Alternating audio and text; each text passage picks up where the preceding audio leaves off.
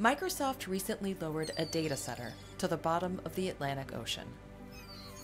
Known as Project Natick, this and previous drops tested the practicality and benefits of underwater data centers.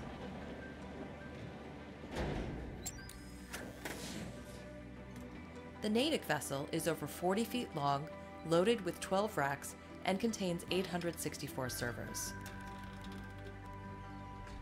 Natick's equipment failure rate is one eighth the rate of data centers on land, where corrosion, temperature fluctuations, and human contact contribute to error.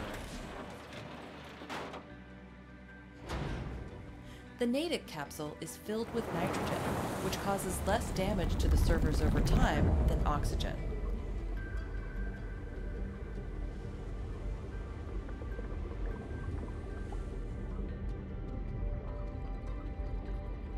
Reliably cold underwater temperatures conserve resources by cooling the servers and helping to optimize energy usage. An undersea cable powers Natick with 100% renewable wind and solar energy from the local power grid. Project Natick began as an effort to sustainably provide cloud services to coastal populations, and now gives us a glimpse of what is possible for data centers in the future.